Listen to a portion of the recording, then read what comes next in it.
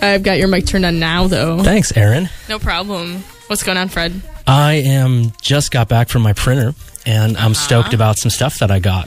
Uh-huh. Okay. Which is well, Fred, we should introduce who you oh are. yeah, certainly. Uh, this is uh, Too Much Metal, Fred. Uh, can I say your real name? Yes, you can. Fred Gillich of Smack Designs.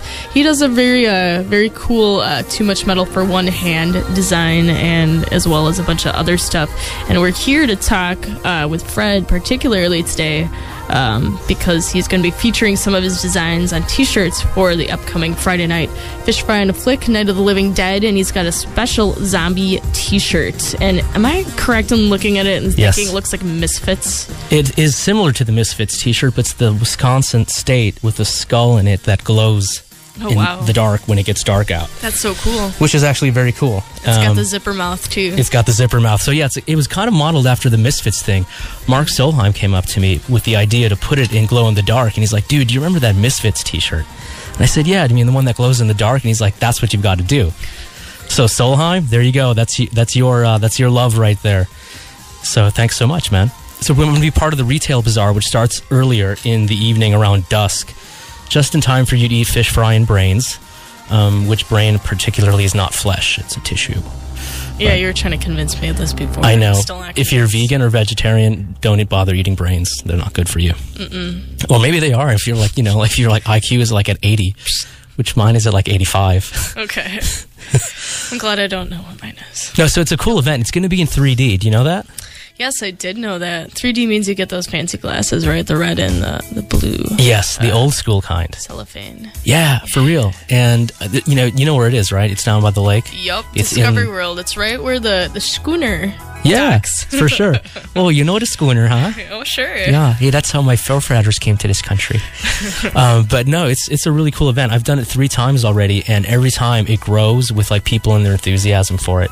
And the people at the Paps put it on, and they do a great job. I really like those guys. And it, all the movies so far this year have been very appropriate. Some, you know, not for kids, obviously, but you know, if you're kind of young and um, you know have a family or a little bit, you know, you want to probably keep them at home for a movie like this. But Night the event. Dead, Yeah. Yeah, this kid should never see something like that. Um, but it's really cool, and you know, when the sun goes down and the moon is shining, it's you know, strange things happen.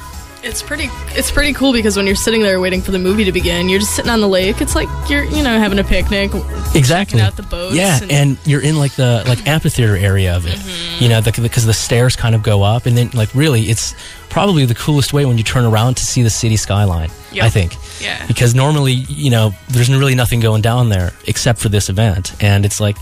Wow, I didn't know. You know, we have an art museum, we have the Discovery World, and we've got a skyline. And then it's like 75 degrees, and it's the middle of September. and it's picturesque. It's wonderful. It's beautiful. You're right. Yeah. So, so Fred, you're gonna be featuring your zombie teas. Yes, I am.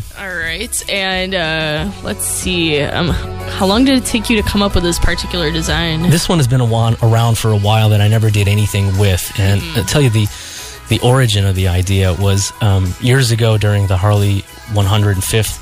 I had an opportunity to sell with a couple of friends of mine and noticed that a lot of people in Wisconsin looked like The Walking Dead, like Harley riders.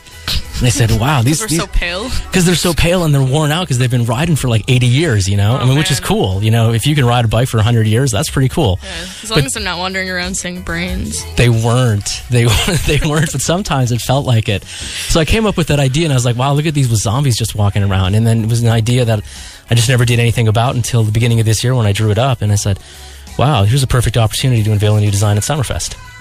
So I did. Summerfest and and this.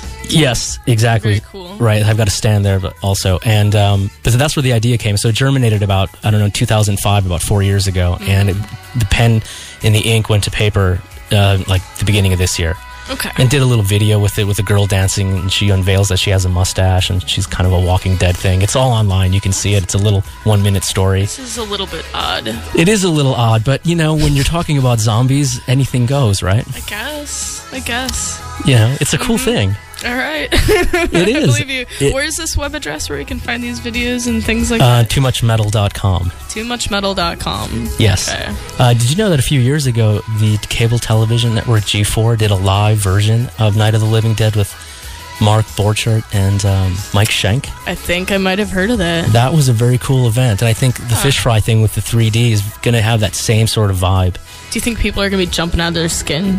I, I think so. It's scary. It's you know, I mean, if you if you're in like afraid of zombies, you, go see this. You might get over it. And I thought now it's like all about the vampires right now. You know, with the whole Yeah, blood and It blah is. blah blah. Did you see that, by the way? I've the la- seen parts. Parts. The season finale. I won't give it away. I happened to see the other day, and it's very very cool.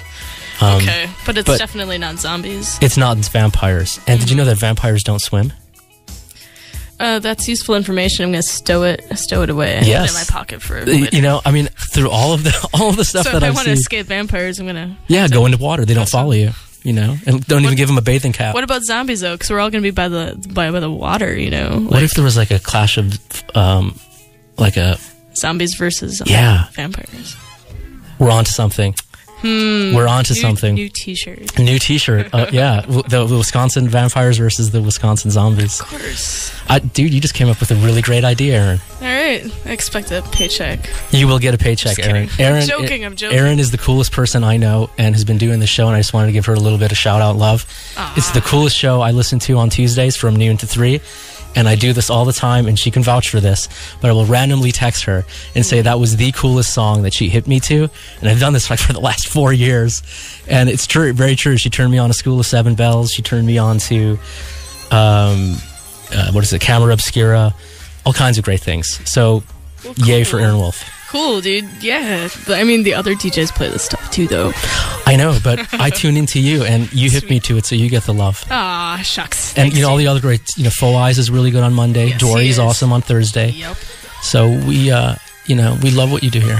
Awesome. Thanks. And we love what you do with the t-shirts. The Milwaukee is my favorite. You like that? Yeah, there's a t-shirt Fred designed with uh, the Milwaukee City skyline that says Milwaukee. I'm a big fan. I, I like that one too. I kind of redeveloped that and put world coordinates on the back now. Nice. So just in case you got lost on this planet, you can find your way back home to Milwaukee. Or at least somebody else can help you too. I think so if you ask nicely. Exactly. it's a Midwestern thing. Very cool.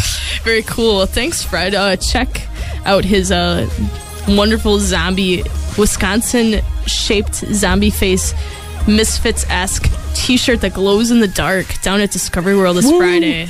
Yes. Do it. Do it. Thanks.